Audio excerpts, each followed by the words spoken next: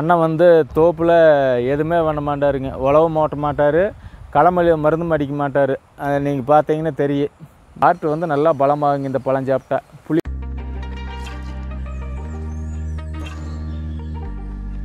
வணக்கம். நம்ம வந்து ஒரு ரெண்டாயிரம் நாட்டு தென்னங்கன்று போட்டு வச்சுருக்கிறோமுங்க. இன்னையிலேருந்து தென்னங்கன்று கேட்டிருந்த நண்பர்களுக்கெல்லாம் அனுப்ப போகிறோம் அதுக்காகத்தான் வந்துங்க ஒரு நூறு தென்னங்கன்று எடுத்து வச்சுருக்குது. அதை இன்றைக்கி ஆட்டோவில் ஏற்றி அனுப்புகிறோம் அதுக்கு முன்னாடி இந்த வீடியோ போட்டுடலாம் அப்படின்ட்டு தான் போடுறோமுங்க. ஏன்னா வந்து நிறைய பேர் ஹைப்ரிட் தென்னை இந்த நெட்டைக்குட்டை இந்த கிராஸ் வெரைட்டி இந்த மாதிரியெல்லாம் நட்டுவிட்டு அது ஒன்றும் நல்லா வர்றதில்லைங்க. அதுக்கு வந்து வாழ்க்கை பூரா பண்டதும் பார்த்துட்டே இருக்க வேண்டியதானுங்க வேரில் மருந்து கட்டுறது மேலே மருந்து அடிக்கிறது அந்த சத்து பற்றாக்குறை ஆகிடுது இந்த சத்து பற்றாக்குறை ஆகிடுது அப்படின்னு சொல்லி வாழ்க்கை பூரா அதை பராமரித்து அதுக்கு முட்டு வலி போட்டு இன்றைக்கி தேங்காய் விற்கிற விலைக்கு முட்டுவலி எல்லாம் போட்டு அதில் என்ன லாபம் இருக்குங்க? ஒன்றுமே இருக்காது. அதனால் வந்து இது நல்ல விற்றுங்க இது நம்ம நண்பர் தோப்புங்க. அது அதுலேயே எடுத்து அதுலேயே போட்டு வச்சுருக்குது. ஒரு ரெண்டாயிரம் கன்று வந்து நடவுக்கு தயாராக இருக்குதுங்க. கன்று வந்து எல்லாம் ஆறு குருத்து வந்து கரெக்டான ஸ்டேஜில் இருக்குது. பார்த்திங்கன்னா நாலஞ்சு அடி உயரம். இல்லை ஆடி மாதம் மழை காலம் ஸ்டார்ட் ஆகுது இல்லைங்க. இப்போ கொண்டு போய் நட்டோம்னா கரெக்டாக இது வந்துக்குமுங்க. அண்ணன் வந்து தோப்பில் எதுவுமே பண்ண மாட்டாருங்க. உழவும் ஓட்ட மாட்டார். களமல்லி மருந்தும் அடிக்க மாட்டார். அதை நீங்கள் பார்த்தீங்கன்னா தெரியும். அப்படியே இருக்குது பாருங்க. புல் பூண்டெல்லாம் அதே முளைக்கிறது விட்டுறணும் ஏன்னா வந்து மண்ணில் வந்து எந்த சத்து பற்றாக்குறையாக இருக்குதோ அதுக்கு தேவையான தேவையான சத்துக்களை உருவாக்குற மாதிரி தாவரங்களை இயற்கை உருவாக்கி கொடுத்துட்டே இருக்குமுங்க. அப்போது அதுவாக வர்ற களைகளை விட்டுட்டாவே போதும். நீங்கள் ஒன்றுமே பண்ண வேண்டாம். இதில் அண்ணன் உள்ள வாழை எலுமிச்சை நிறையா பழச்செடியெல்லாம் நட்டு விட்ருக்காருங்க எல்லா பழச்செடியும் இருக்குது. இப்போ வந்து காயை பொறிச்சு அஞ்சாறு சாப்பிட்டு ஜோப்பில் போட்டு வச்சுருக்கிற வீட்டுக்கு கொண்டு போகலாம்னு. பாருங்க இது ஆப்பிள் பழமாட்டு இருக்குது இதுக்கு பேர் அசிலா செர்ரிங்க. அசிலா செர்ரி பழம். ஆப்பிளாட்டாவே இருக்குதுல்ல. இந்த மாதிரி இருக்குங்க. இது வந்து இதய நோய்க்கு அருமையான மருந்துங்க. ஹார்ட்டை வந்து பலப்படுத்து. இதய நோய்க்கு இல்லை. ஹார்ட் வந்து நல்லா பலமாகுங்க இந்த பழம் சாப்பிட்டா புளிப்பாகத்தே இருக்குது ஆனால் அருமையான இது. நீங்கள் எங்கே தான் நர்சரியில் இந்த செடி கிடைச்சாலும் வாங்கி நட்டு விடுங்க. இதுக்கு பேர் வந்து அசிலா செர்ரி. மாதிரி வச்சுக்கோங்க தோப்பை. எதுவுமே பண்ணக்கூடாது. தென்னை மரத்தை நட்டு விட்டா அப்படியே விட்டுட்டிங்கன்னா அது கிட்டத்தட்ட மானாவாரியிலேயே காய்க்குங்க. இவர் இதெல்லாம் வறட்சியிலையெல்லாம் ஏற்ற மரம் போகாமல் அப்படியே காய்ச்சிட்டே இருக்குதுன்னா இவர் எதுவுமே பண்ணுறதே இல்லை. எது எருவும் போடுறதில்ல உரவும் போடுறதில்ல ஒன்றும் போடுறது இல்லைங்க அப்படியே பாருங்கள் இந்த தென்னை மரத்தை சுற்றியுமே எவ்வளோ களையேறி கிடக்குதுன்னு. இது அப்படியே புல் முளைச்சி கிடக்குது. இதே வந்து இயற்கை மூடாக்கு மாதிரி ஆகிக்குது இல்லைங்க மெத்து மெத்துன்னு. அப்போ வந்து எதுவுமே இல்லை ஃபுல்லாக அப்படித்தான் முளைச்சி கிடக்குதுங்க. தண்ணி மட்டும் விடுவாங்க. அது வந்து இயல்பில் எவ்வளவு காய் காய்க்குமோ அந்த காயே போதும் அப்படிங்கிறது இவங்க கணக்குங்க. இதுலேயுமே ஒன்று ரெண்டு மரமெல்லாம் போயிடுது. அந்த வீரியம் இல்லாததெல்லாம் முடிஞ்சு போகுங்க. வீரியமானது நல்லா அருமையாக இருக்குது. எங்கே நீங்கள் வாங்கி போட்டாலும் நாட்டு தென்னங்கன்னே போடுங்க. எப்போ இத்தனை தென்னை மரம் போட்டிருக்குது? தென்னை அதிகமாக தான் நடவாயிட்டு இருக்குதுங்க. ஆனால் அதில் வந்து முக்கால்வாசி ஹைப்ரிட்டு தான் நட்டுருக்குது ஹைப்ரிடெல்லாம் வந்து ரொம்ப நாளைக்கு தாங்காதுங்க. அதெல்லாம் போகும்போது அப்புறம் மிஞ்சி இந்த நாட்டு மரம் இருக்குது அதானுங்க எல்லாத்துலேயுமே நாடு தான் நான் சொல்லுவேன்ல. நாட்டு மாடு நாட்டுக்கோழி நாட்டு மனுஷன் அப்படி எல்லாம் நாட்டு ரகம் எதுவோ அதுவே அது மட்டும்தான் இருக்குமுங்க. அப்படி எல்லாத்துலேயுமே நாட்டு ரகம் தான் இருக்குது அதனால் வந்து நீங்களுமே ஒரு காலில் நாட்டு நட்டு வச்சுக்கோங்க. ஏன்னா வந்து வரப்போகிற ஊழி தாண்டதுக்கு இந்த ஊழிக்காலத்தை தாண்டணும் அப்படின்னா தேங்காய் பழம் சாப்பிட்டே ஆகணுமுங்க. அப்புறம் எந்த தேங்காய்? கடையில் வர்ற தேங்காயெல்லாம் எப்படி இருக்கும்னால உங்களுக்கு தெரியாதுங்கள்ல மக்களுக்கு.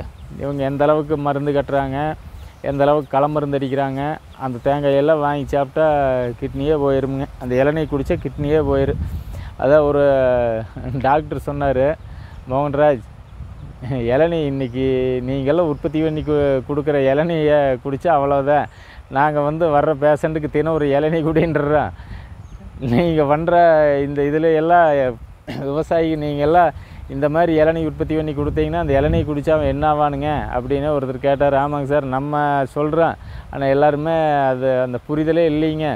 இளநீ வந்து ஒரு மருந்து. தேங்காயும் ஒரு மருந்து. ஆனால் விதைய நேச்சராக உற்பத்தி பண்ணி கொடுக்கணும்ல. தேங்காய் என்றைக்குமே ரொம்ப டிமாண்ட் வருமுங்க.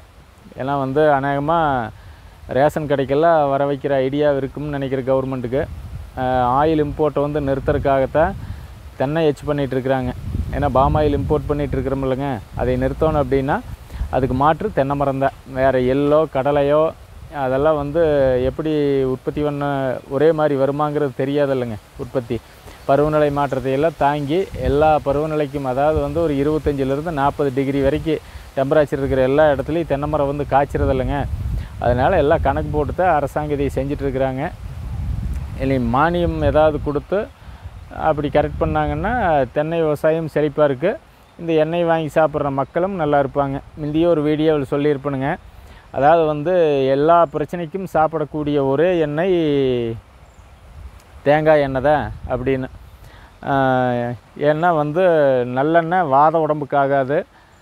கடலெண்ணெய் பித்த உடம்புக்கு ஆகாது. விளக்கெண்ணெய் கப உடம்புக்கு ஆகாதுங்க. இது எல்லாத்துக்குமே வந்து தேங்காய் எண்ணெய் சாப்பிட்லாம். நம்ம அடுத்த மாதத்துலேருந்து தேங்காய் எண்ணெயும் விற்பனைக்கு கொண்டு வர போகிறோங்க அது வந்து அதுவாக காயே உளுந்து எடுத்து உடச்சி ஆட்டி கொடுக்குற பக்கம் இருந்து சரோஜக்காட்டு சொல்லியிருக்கிறேன். அவங்க கொண்டு வந்து கொடுப்பாங்க. அப்புறம் இந்த மாதிரி அண்ணனுமே வந்து உளுந்து தான் எடுப்பாங்க. எல்லாம் உழுக உழுகிற குட்டு எடுத்து கொடுத்தாங்கன்னா ஆயில் ஆட்டி கொடுக்க போகிறேன் ஏன்னா நிறைய கஸ்டமர் வந்து எண்ணெய் கேட்டே இருக்கிறாங்க. அது வந்து தேங்காய் எண்ணெயிலிருந்து தான் தொடங்க முடியும். ஏன்னா தேங்காய் மரத்துக்கு மட்டும்தான் ஆர்கானிக்கல் நிறைய பண்ணுறாங்க மற்றது கடலை எல்லாம் வந்து ரொம்ப குறைவு. அடுத்தடுத்து அதை மூவ் பண்ணலாங்க. ஏன்னா உடம்புல பிரச்சனை இருக்கிறவங்களுக்கு வந்து சுத்தமான பொருளாக கொடுக்கணும். கொஞ்சம் கெமிக்கலோ இந்த மாதிரி ஃபெர்டிலைசர் யூஸ் பண்ணதோ வந்துடுதுன்னா அவங்களுக்கு பிரச்சனை எச்சாகி போயிடும் அந்த தேங்காய் எண்ணெய் இது வரும்போது அதுக்கு வீடியோ போடுறேங்க. தென்னையுமே கரெக்டாக கொண்டு போய் சேர்க்க முடியும். அதுக்கு தான் அந்த தேங்காய் எண்ணெய் சேல்ஸில் நம்மளே வர்றோம். வேறு வழி இல்லைங்க. உற்பத்தி பண்ணால் அதை மார்க்கெட் பண்ணுறது எப்படின்னு எல்லாத்துக்கும் சொல்லி கொடுக்கணும் இல்லைங்க. அடுத்தடுத்து வேப்பண்ணை எல்லாத்துலேயுமே கொண்டு வர போகிறேங்க இப்போ ஆட்டோ வந்துடுது போய் ஏற்றுறோம் ஏற்றிட்டு அப்புறம் வெப்பாள செடி ஏற்றுவங்க அதை ஒரு தனியாக வீடியோ போடுறேன் எதுக்குன்னு. இதுதான் பாலமரம் எல்லாத்துக்கும் தெரியும் இல்லைங்க தெரியாதவையும் நிறைய பேர் இருக்கிறாங்க. அதனால தான் சொல்கிறேன் பாலமரம் இது வந்து நம்ம வீட்டுக்கிட்ட இருக்குதுங்க. உங்களுக்கு ஒரு ரெண்டே வருஷத்தில் இவ்வளோ ஹைட்டு வந்துடும் ஆனால் ஹைட் வர்ற கூடக்கூடாது வெட்டி போடணும்னா வெட்டி போடுறது வந்து நம்ம ஒரு ஆறாயிரம் வந்ததுக்கப்புறம் அறுத்து விட்டோம்னா சைடு பிரான்ச்சோடு நல்லா புஷ்ஷுன்னு புதராட்டம் வந்துகிட்டே இருக்குது நம்ம வருஷம் வருஷம் வெட்டி போட்டுக்கலாங்க. உரமாக ஃபுல்லாக போட்டுக்கலாம். நல்ல உரமுங்க. இது வந்து தானாகவே வறட்சி தாங்கி வரக்கூடியது. எந்த புழு பூச்சியும் கடிக்காது. ஆடு மாடும் சாப்பிடாதுங்க.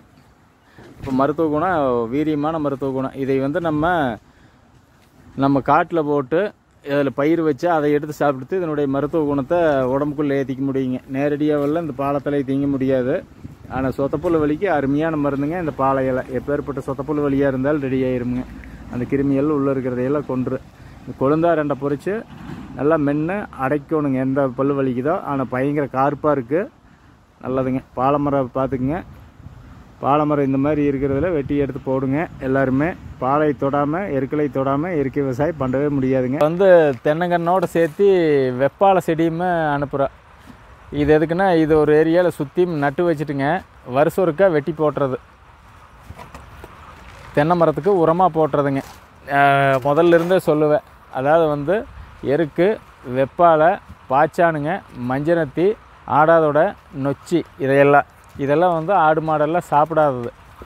ஆடு மாடு சாப்பிட்றதெல்லாம் மூலிகையெல்லாம் ஆட்டு மாட்டுக்கு கொடுத்து ஆட்டுப்பால் மாட்டுப்பாலை கறந்து குடித்து அந்த மருத்துவ குணம் நமக்கு உடம்புக்கு கிடைக்கிற மாதிரி நம்ம முன்னோர்கள் பண்ணிட்டாங்க.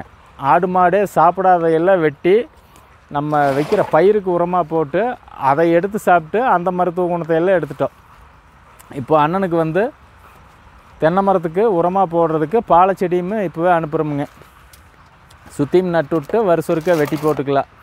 வெட்டி போட்டு அந்த தெ தென்னை மரத்தில் வர்ற காயை எடுத்து கொண்டு போய் லேப் டெஸ்ட்டுக்கு கொடுத்தா அது வந்து வேறு மருத்துவ குணமெல்லாம் உள்ளே இருக்கிறது தெரியுங்க.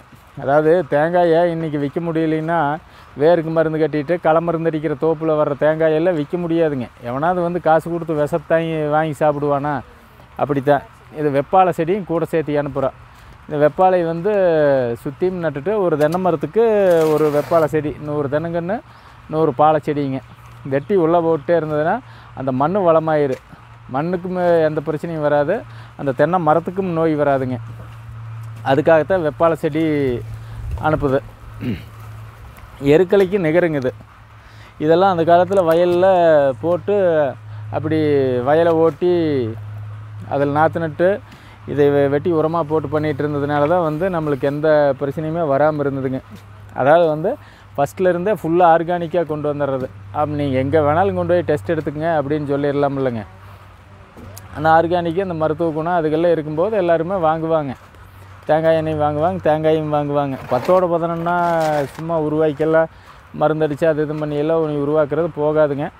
நம்ம உணவியல் மாற்றத்தை நடத்தணும் அப்படின்னா அது எங்கே தொடங்குதுன்னா நிலத்துல தான் தொடங்குதுங்க. நிலமெல்லாம் வந்து உங்களுக்கு ரொம்ப வளங்கெட்டு போய் கெமிக்கல் கண்டென்ட் ஆகிடுது அதையெல்லாம் மாற்றுறதுக்கு தான் இயற்கை உரங்கள் அப்படின்னு பார்த்தோம்னா எருக்களை வெப்பாலை இதெல்லாம் முக்கியமானது. எருக்களை வந்து இவங்க அப்புறம் எடுத்துக்கிறேன்ட்டாங்க.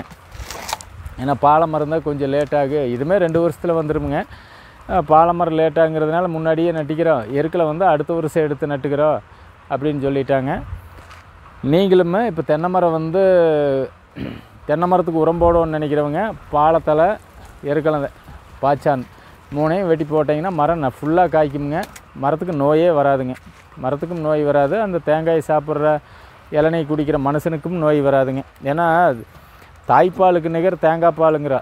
ஆனால் அப்படியே இருக்குது இன்றைக்கி தாய்ப்பாலே விஷமாகி போய் கிடக்குது.